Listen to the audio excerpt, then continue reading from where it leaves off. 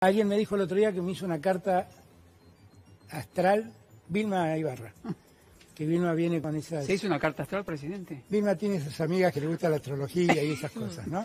No me hizo una carta astral. Me dijo que yo estoy predestinado a siempre tener que construir sobre las cenizas.